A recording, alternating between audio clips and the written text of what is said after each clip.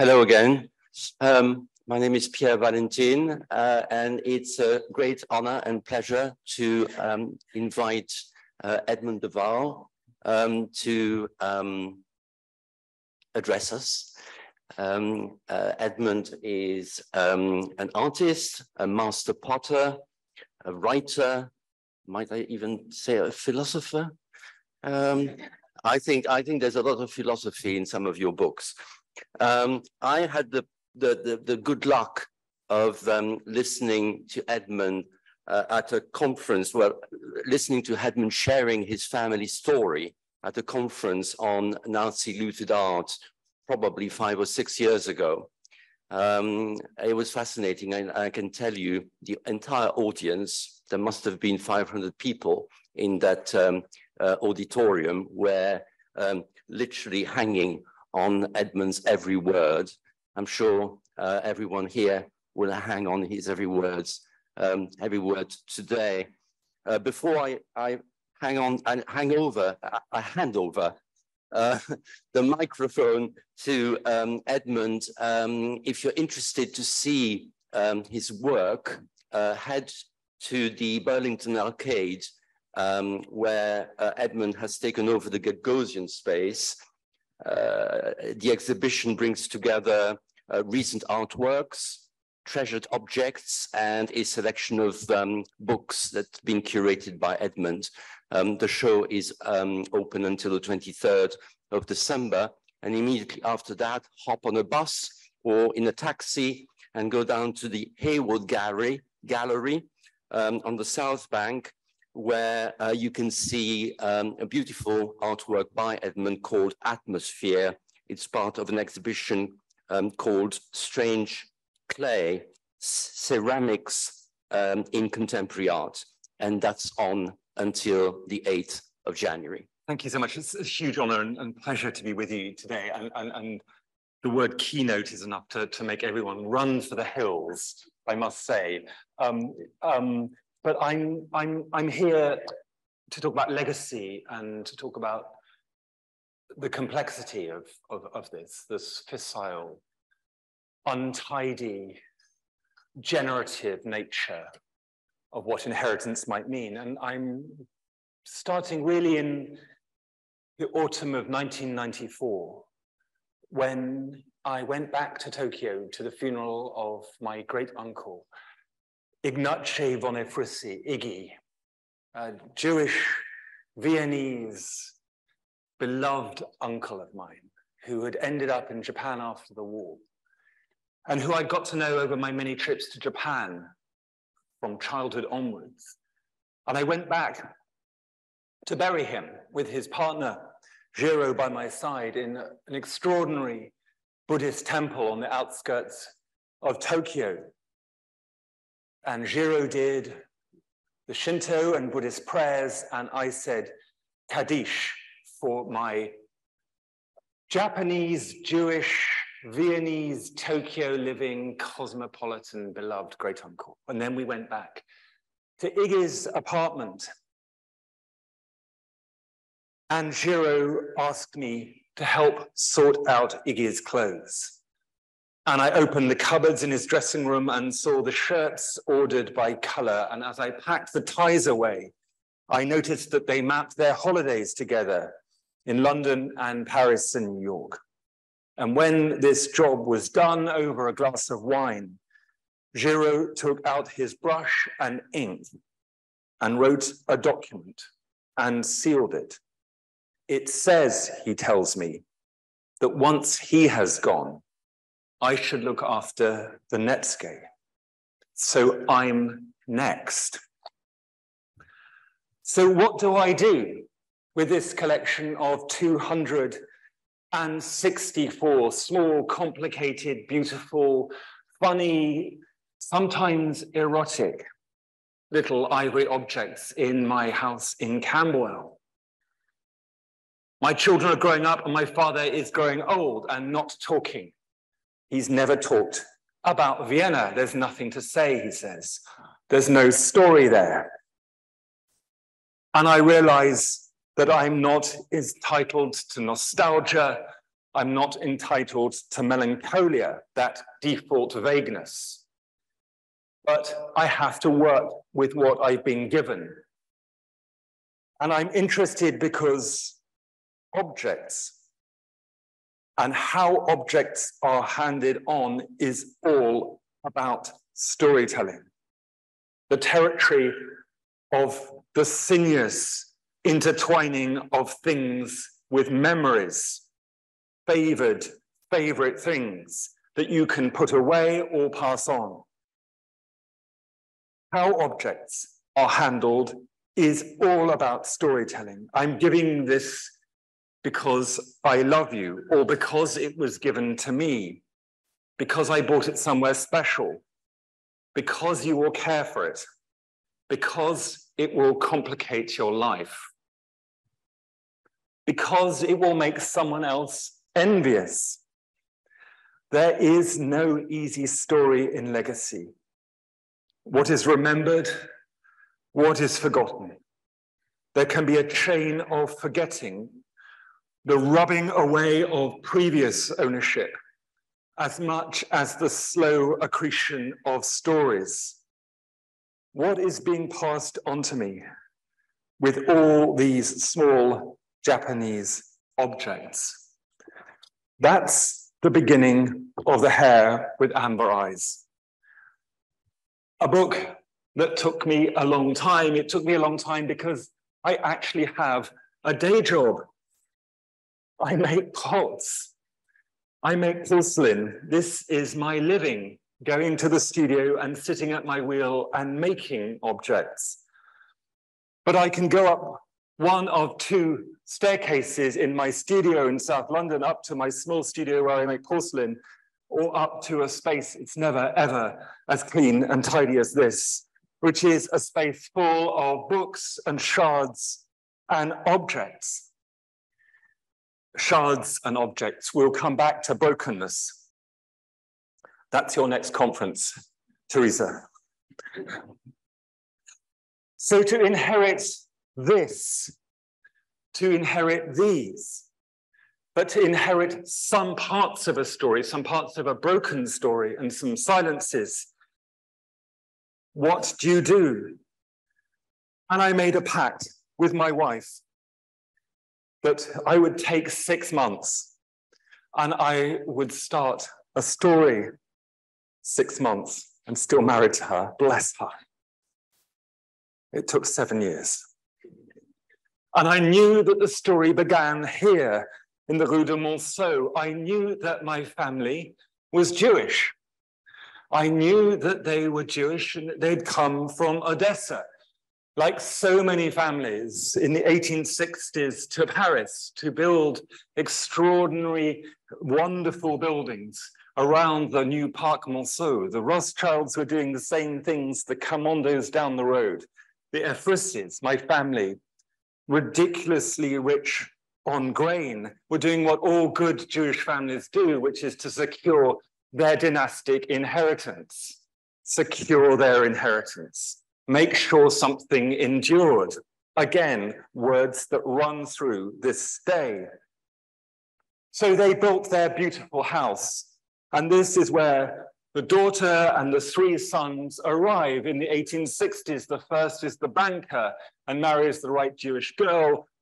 The second is a, a lover of women which means that I have more French cousins who emerged after the publication of the book than I thought possible. And the third is young and rich and starts buying art. Charles Ephrussi, he buys Medici embroideries. This had M for M Medici and he put E for Ephrussi. It's kind of person he was.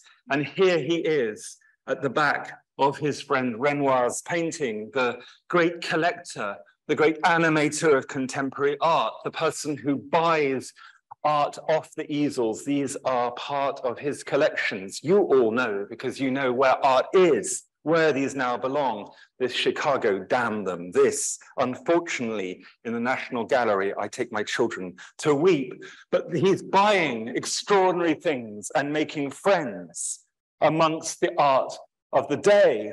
And Proust becomes his first secretary and walks up those steps uh, in the Rue de Monceau. Um, and Charles Ephrussi slowly becomes Charles in À la recherche du temps perdu. And this, this wonderful painting, which he buys off the easel, it's 800 francs. He gives a thousand because he's generous. And then a week later, this is left at the doorstep of number 81, the Rue de Monceau. This one has slipped from the bundle. And the story ends up in Proust. And he's a great collector.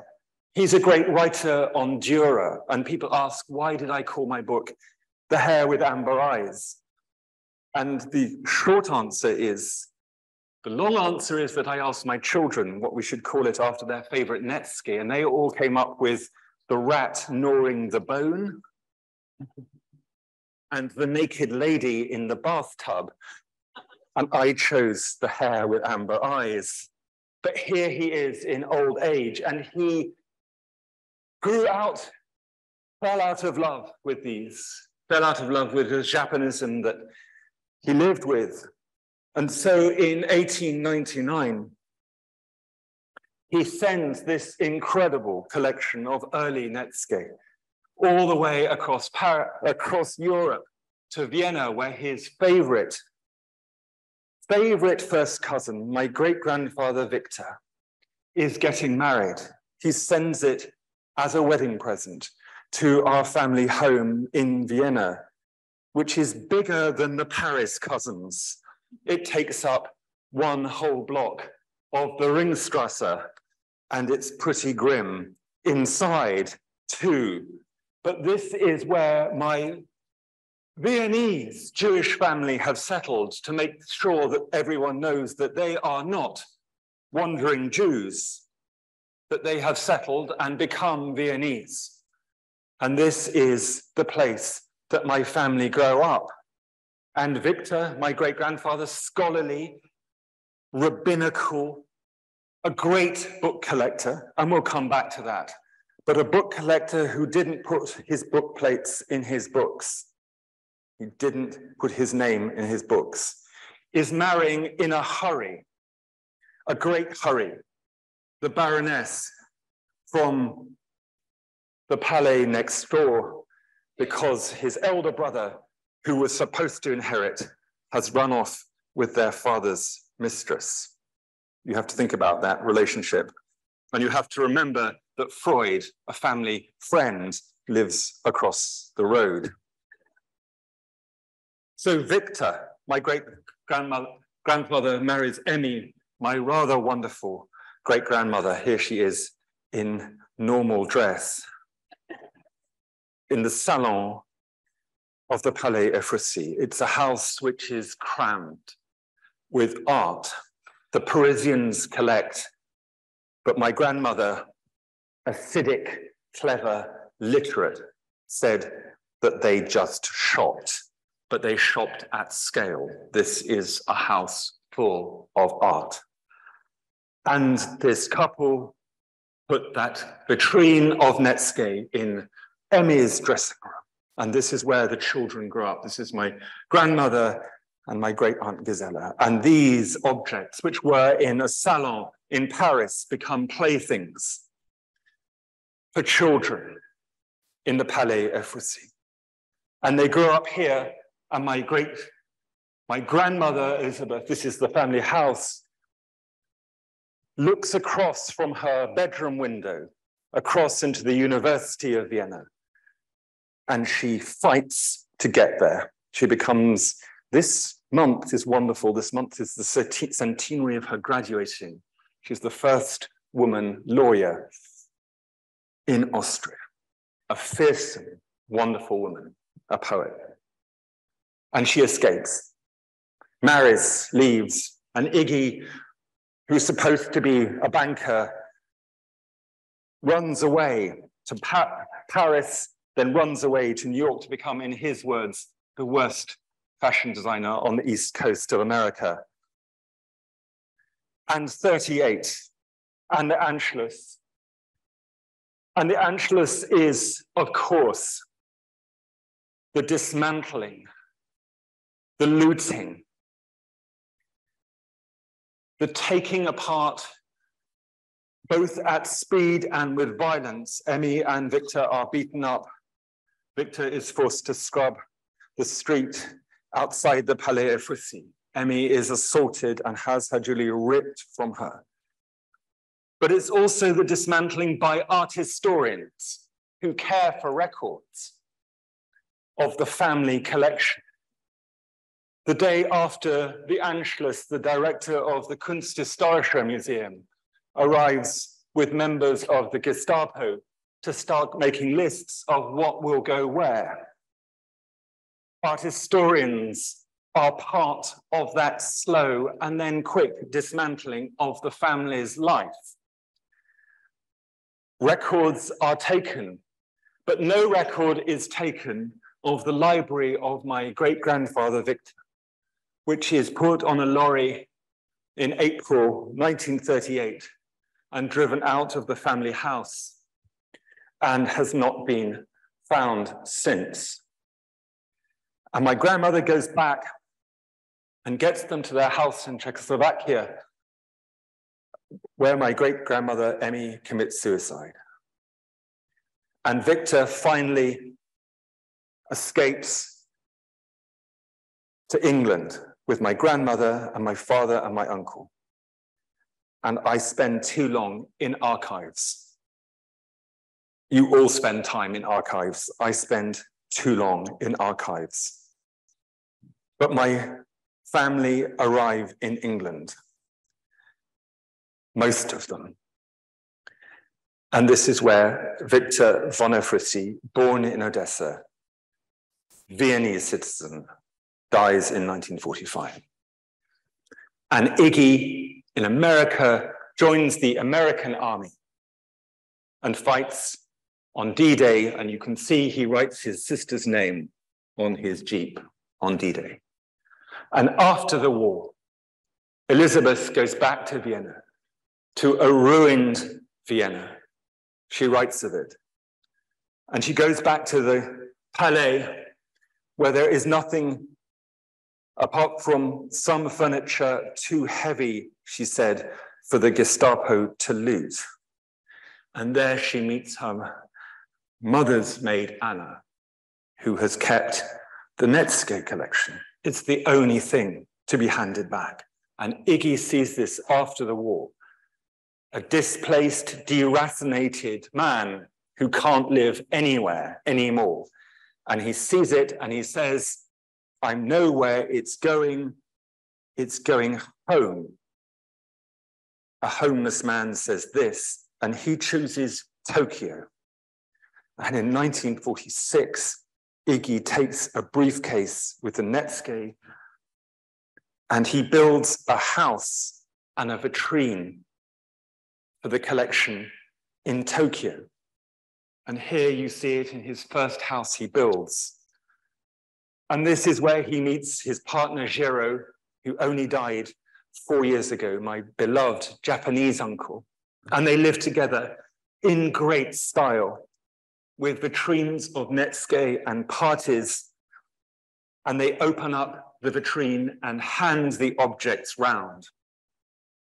And this is where the objects take on this other life. Dessa of course, Paris, Vienna, Tokyo. And when they die, and this is their grave, which I go and tend as the next part of this chain of legacy, they come back to me, to London.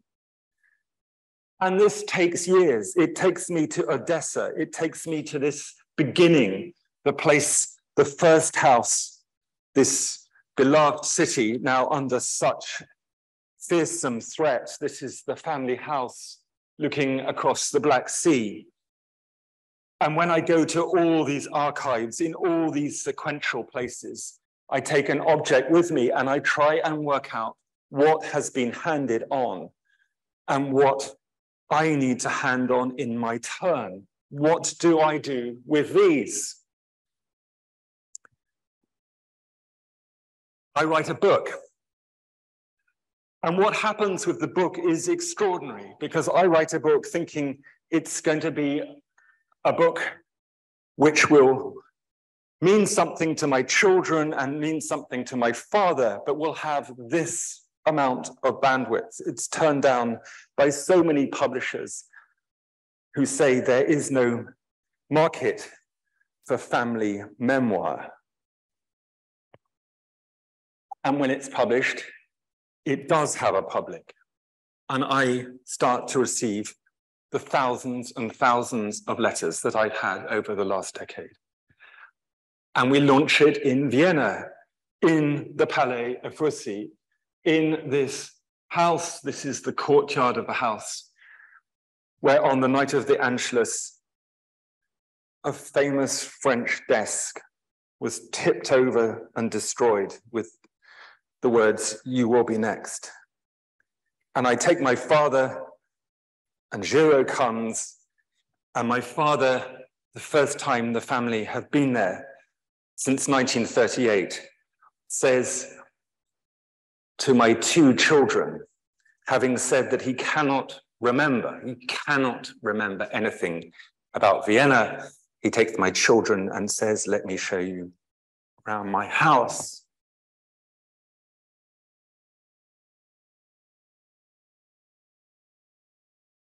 So you write a book. And then what do you do? Five years ago, we made a decision and we gave our family archive to the Jewish Museum in Vienna. Boxes and boxes of things. And we put on long term loan the Netsuke collection so that it could tell a different kind of story in a place that mattered. And three years ago, just before the pandemic, we were back. And at the Jewish Museum, here's my father with his portrait. My father, Jewish in a complicated way, became the Dean of Canterbury. So I grew up with a father with a strong Viennese accent who was Christian, who wouldn't talk about what had happened. But growing up in the deanery in Canterbury, a beautiful medieval house, there are portraits of all the deans going back to the Reformation. Extraordinary collection since 1550. And my father was asked who he wanted to paint his portrait. And he said, I have a Viennese cousin, Marie-Louise von Motesiczky, a great, wonderful painter who was a friend of Beckmann, a great painter who also ended up after the Anschluss here in, in, in London. She'll paint me.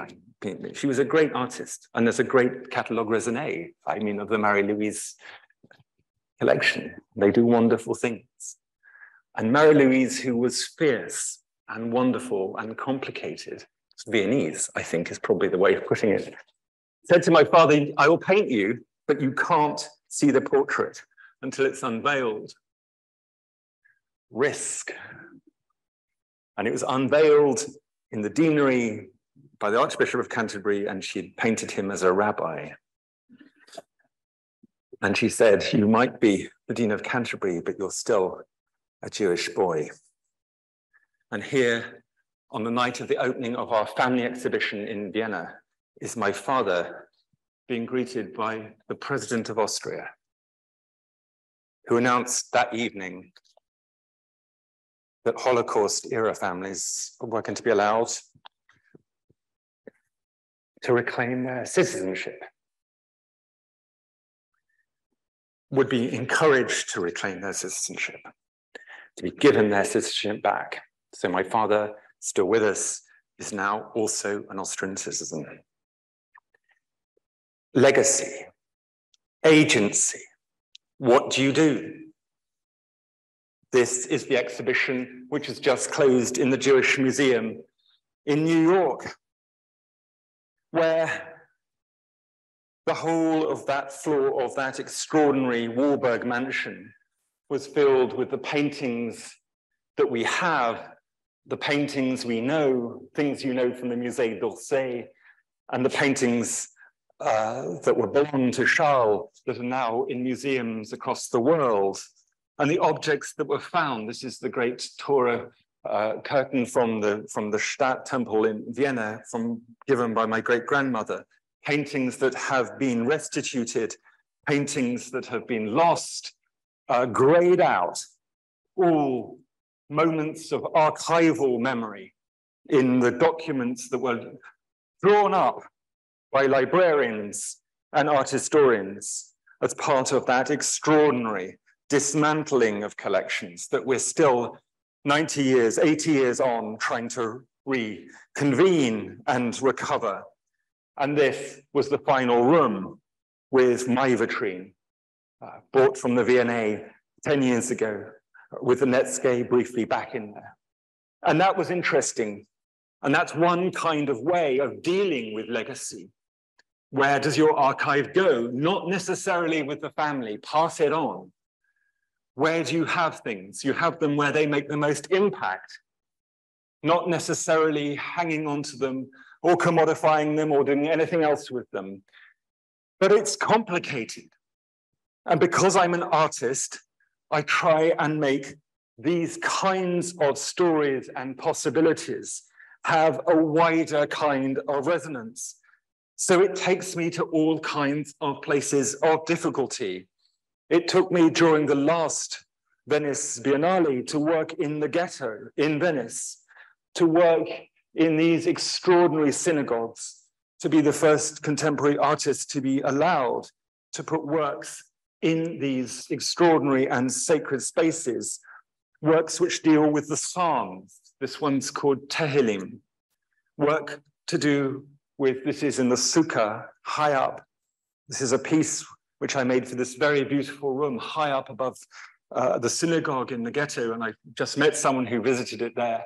And this piece I've now given to the new National Library of Israel. So in a year's time, it will be in Jerusalem. Um, things, as Michael so eloquently said, move round the world. You can't tell their stories for what's going to happen. Uh, what you can do is make things happen in your lifetime and pass them on as much as you can. So I made a library for my great grandfather, Victor. I'm never going to find that library. But I made a library of exile, which was full of 2,000 books written by 80 different languages, uh, written by people who had been forced into exile, refugees exiles from Ovid to the present day. And I put an installation in there, which is also going to Jerusalem. And I put book plates, ex libris plates, so that people could write their names in the books that mattered to them. And Ben Okri opened the proceedings, and it was wonderful. And we had hundreds and hundreds and then thousands of people. And I made a category mistake, which I will share to you, which in my enthusiasm, I put a box which said, if there is a book that you feel should be in the Library of Exile, write its name and I will buy it. I pass this on for your edification. And it's wonderful because 4,000 books ended up in the Library of Exile. And it went on. It was a mobile library. And I think everything we're talking about is about the movement of stories and objects and art. This was a mobile library. It went next to the Japanisches Palais, to this extraordinary place, which of course was both Augustus the Strong's great palace of porcelain, but also a great library, bombed in 1945. And this was the space where Victor von Klemperer, one of my great heroes, wrote his diary. Uh, and here it had a different presence from, from Venice, and we worked with refugee groups um, to make extraordinary connections across Dresden, across Saxony. And this was its second place, its second outing. And again, it was full of people, full of children. And so a lost library, my great, wonderful scholarly great grandfather's precious library becomes a place where people can take down The Tiger That Came to Tea by Judith Kerr, that great refugee, and write one name after another after another because it's mattered to them or mattered to their children. And then what happens? It comes to the British Museum, and then finally, beautifully, it gets dispersed. So you're talking and thinking about how to hold things together. And I'm talking about migration and dispersal. So what happens? The four installations in it go to different corners of the world. The structure of the library is to become the new reading room of the new Warburg Library in London, another exiled library, which I love. Isn't that cool?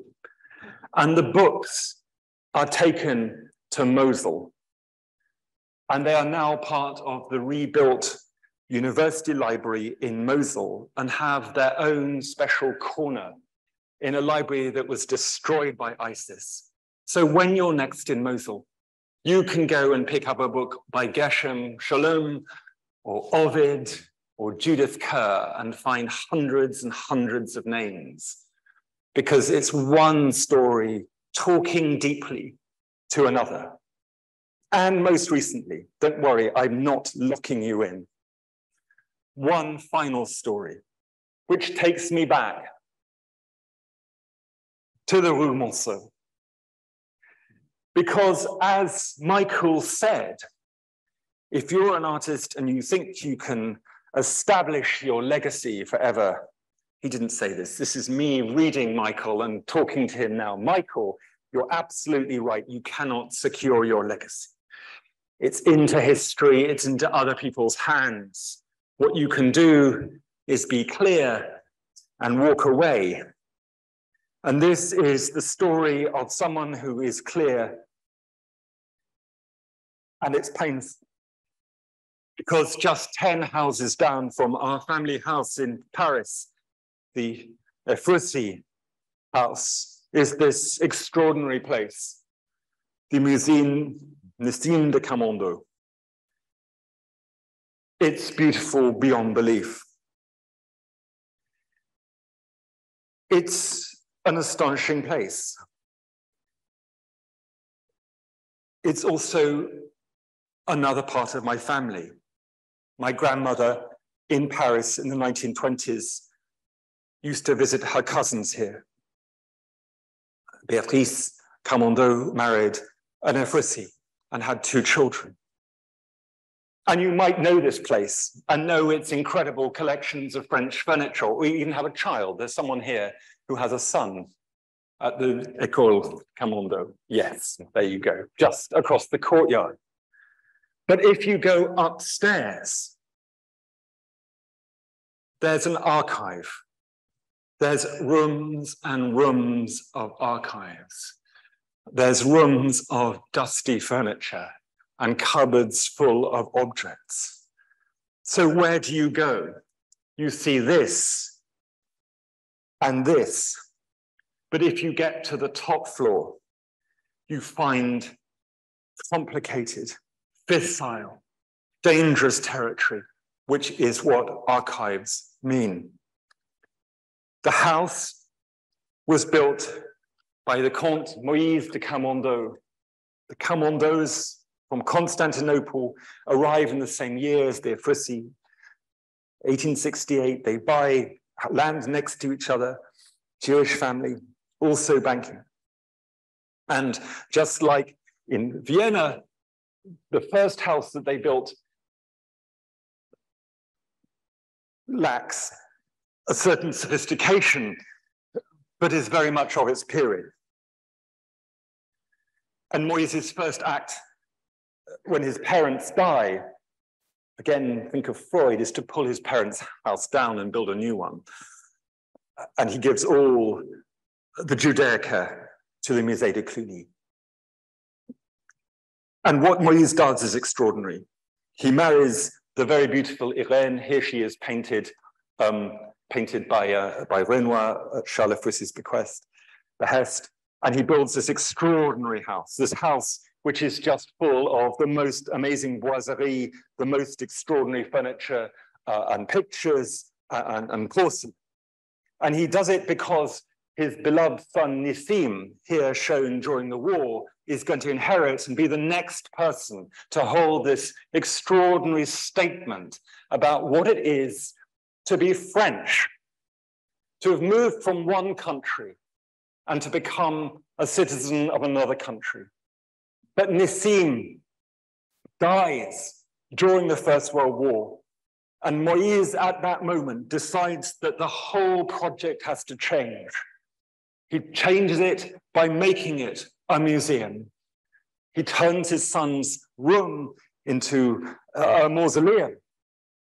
He turns the whole house into a place that at his death will become this extraordinary uh, exemplar of the best art of the French 18th century, the most civilized century in France, as he puts it, the century in which Jews were given their citizenship. And it becomes this incredible collection. And here is the collection on the death of Moïse de Camondo.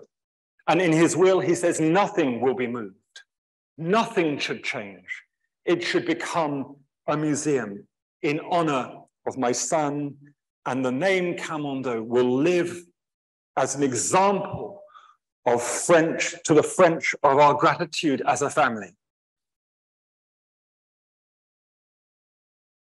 And in 1936, in December, anniversary is next week, there's a great ceremony and the house is handed over to the French state.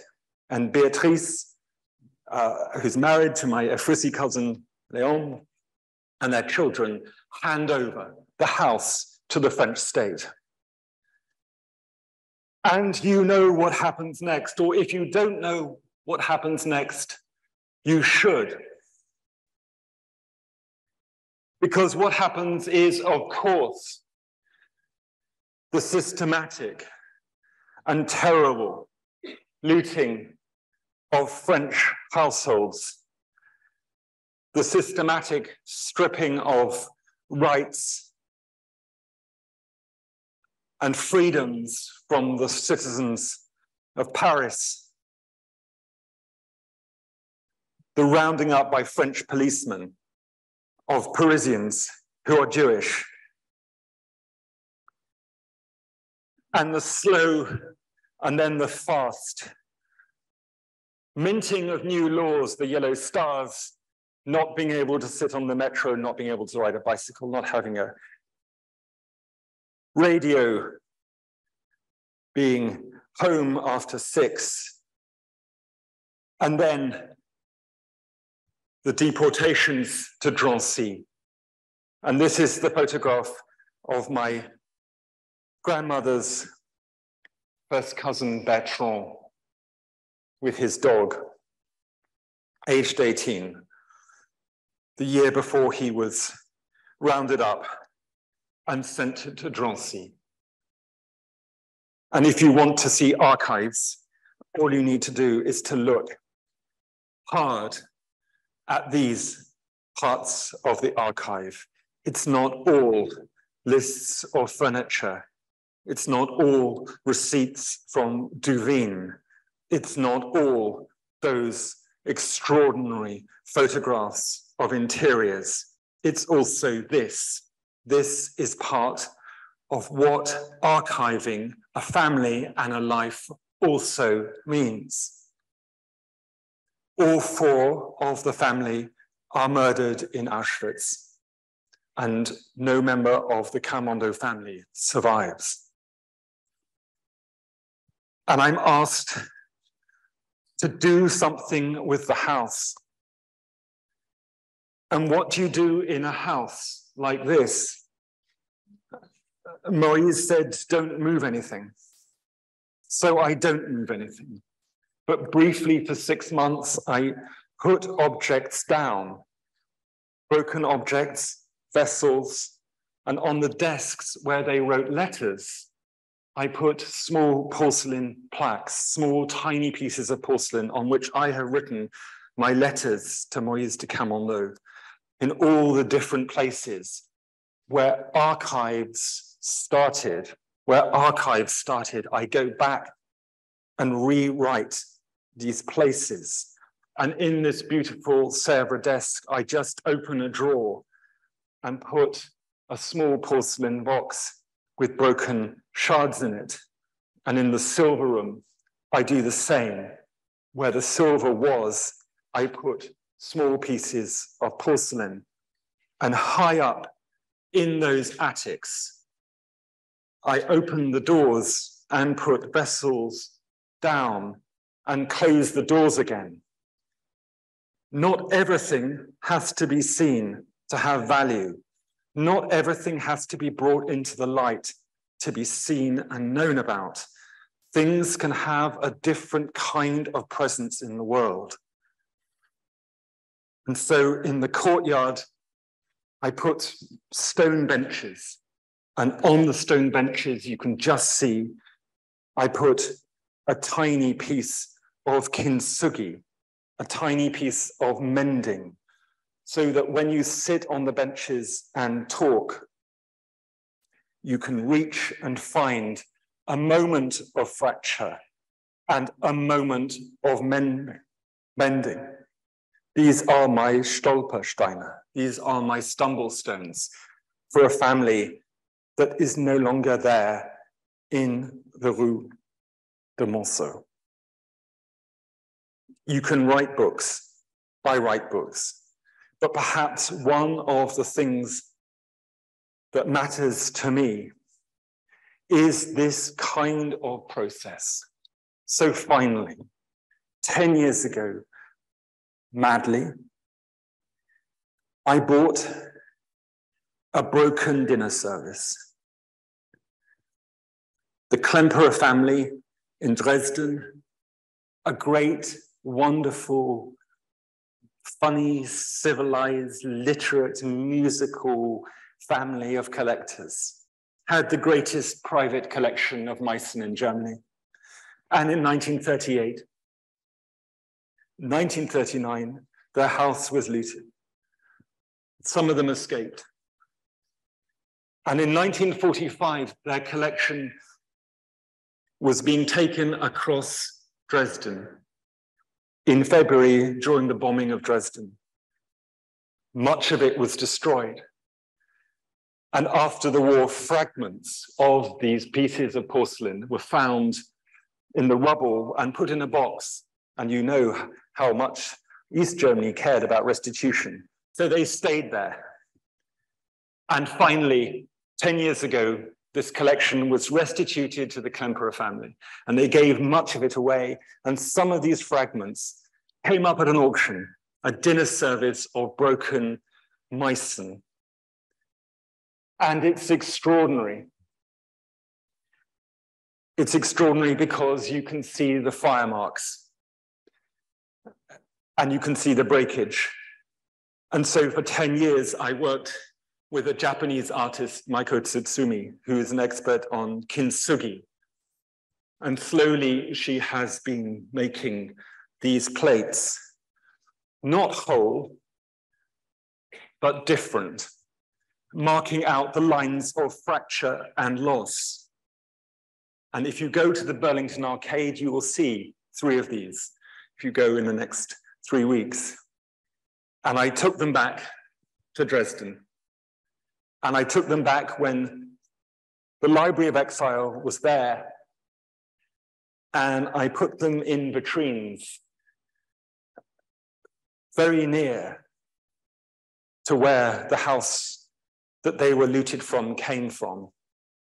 And I simply said that I do not know who they belong to. And that's my point, which is the handing on, the storytelling. I simply have no idea who owns what or where it sits in the world. But I do know that that long process, that adamantine attention to the absolute particularity of every story is what distinguishes us as people who care in the world. And that's all we can do about handing things on. Thank you. Thank you so much, Edmund, for telling us um, this extraordinary story. I was really moved um, listening um, to it, and I could tell by the quality of the silence in the room that um, everyone else here, we were all really very moved. And the contrast between, you know, the, the, horror, the horrors of, of the Nazi regime and all this beauty, generosity, knowledge, and um, yeah, the beautiful emotions that were associated with, you know, the, the, the good parts of the story, um, that contrast is, is really very, very striking. And unfortunately, whilst, well, whilst you know, the story brings us hope. Unfortunately, when you, we see the state of the world today, um, well, I think I'm certainly not very optimistic about the future, but that's a different story. Um, now, um, we've come to the end of this um, day, and um, it's it's it's left to me to um, say um, thank you. Uh, now, let me find my piece of paper. So I don't think, so I thank the right people. Well, thank you first, obviously, for um, our wonderful speaker who have given so generously um, to us today and uh, provided so many uh, insights. Thank you to our sponsors. Without them, um, the, today could not have happened uh, in alphabetical order. Christie's, Constantine Cannon, Navigating Art, uh, Philips Fiduciary Services, and Sotheby's. Thank you for Cromwell Place for allowing us to um, hold this event um, uh, today in this um, beautiful room, who used to be the studio of uh, the Irish artist uh, Sir, John Lavery. Um, it was restored, I think, about two or three years ago and it's I think it's truly magnificent. I wish I was an artist um, who could um, work in a studio like this. Thank you to our wonderful um, Lucy Skilton, who is um, sitting by the door there, and uh,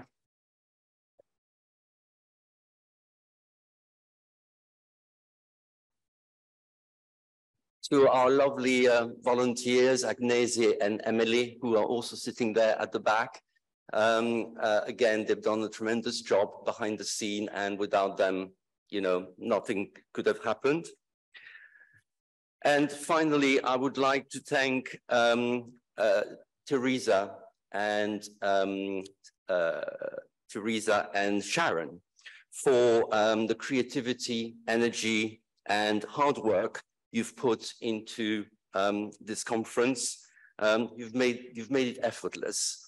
And I think it's an art to make something complex look easy. You've really succeeded at that. Thank you very much.